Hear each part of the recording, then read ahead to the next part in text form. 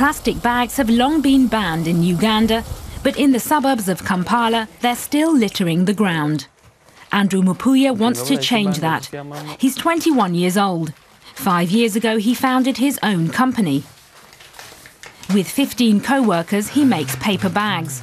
The young entrepreneur comes from humble circumstances. He earned his startup capital all by himself. Hmm? I collected used plastic bottles.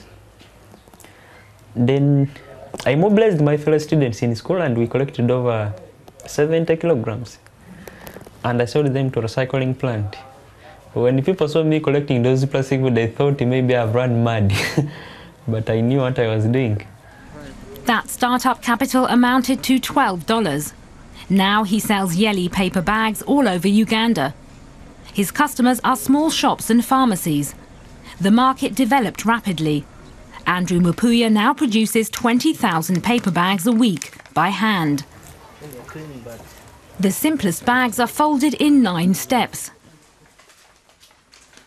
The most complicated take 32. Mupuya can't afford machines. He buys his paper in Kenya. The young men are entirely self-taught.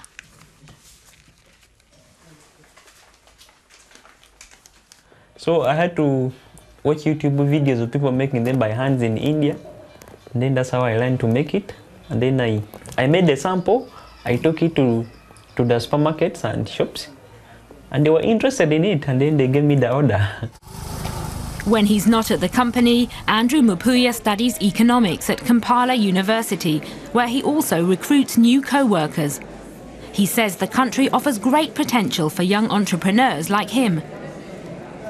The entrepreneurial character is quite new in Uganda, and a few are adapting it because it's not, it sounds not easy for someone to be studying while enterprising at the same time.